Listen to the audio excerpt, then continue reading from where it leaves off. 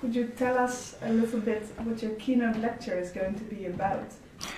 The keynote lecture? The keynote lecture, the lecture that you're going to Yes, uh, I think it's a keynote lecture which is uh, principally uh, to explain to the people what is the contemporary situation in the world and uh, how is it possible to change this situation.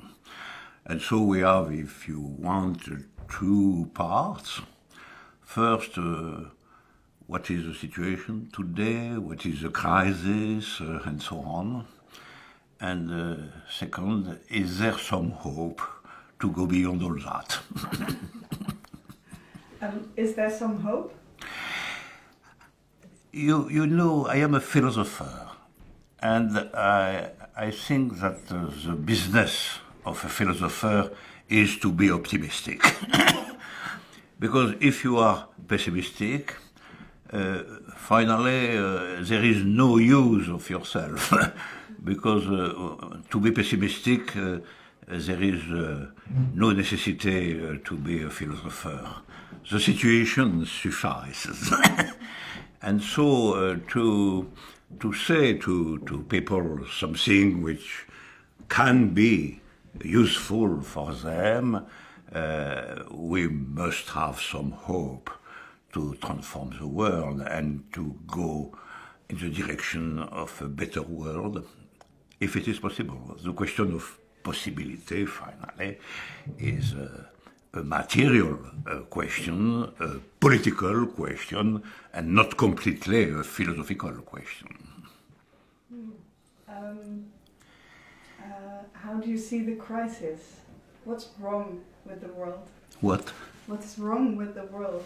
What, what's the crisis in the world? I think there is two different levels for the crisis. There is an objective level, which is the crisis of capitalism uh, today, the financial crisis and uh, all that. And I think there is also a subjective crisis, which is not uh, immediately the same thing. There is something uh, like disorganization of life, disorganization of thinking, uh, an obscure vision of the future. I think this is most important point because for uh, all young women and men in the world today, the future is really obscure. Can we continue as now? It's not uh, really exciting. Can uh, we invent something really different? But it's not unclear. It's unclear. Um, uh, all the politicians, all the governments and so on, has uh, only the idea to continue, to continue if it is possible. But to continue only is uh, to repeat, if you want, the situation is not uh, really a good future for uh, young men and women of today. So the philosopher had also to, to say, okay, there is a crisis, but if we cannot modify immediately the objective crisis, because uh, we are not uh, so, so, powerful to do something like that, uh, we can modify the subjective level of the crisis and to propose new ideas, new vision, new forms of life uh, for uh, uh, humankind. can you tell us what, what sort of new forms you're thinking of? New form of thinking? Yeah. Yes, I, you know, I, um, I propose to say that uh, we must define a, a, new form of freedom. I think freedom today is uh, largely the freedom to to buy something, uh, uh or the freedom to to have money, or the freedom to do what we want when we have the money to do. and so uh, uh, the freedom of today is in fact, a sort of material freedom which is on strong dependency of the situation, of the crisis, and so on.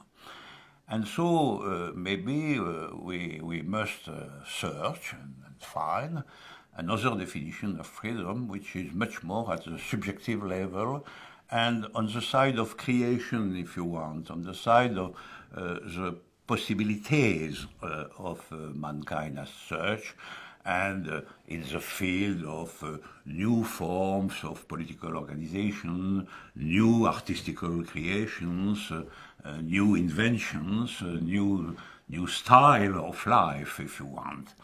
And it's a general direction. Uh, to propose a new definition of freedom, that's the formal one, a definition today, which is a, mixture of materialism, to have money, and to uh, representative vision of uh, politics. We have some governments and so on, but all that uh, cannot define really freedom for today. My final question, what is your advice for young people today? I think for young people today, my, my, my goal is first to transmit my experience to transmit my experience uh, of uh, an old man in some sense, uh, which has known something, a, a, really different world before. A world with political hope, with revolutionary ideas, and so on. And uh, uh, first, to, to transmit uh, that sort of experience, to understand clearly that all different subjectivities can exist today because it was not uh, so uh, many years ago. It was some 10 years ago, 20 years ago, 30 years ago. We have different subjectivities. It's the, it's the first point, the transmission. After, after all, when we have an experience, we must transmit to young uh, women and men. And after that, to, to reconstruct the possibility to be optimistic.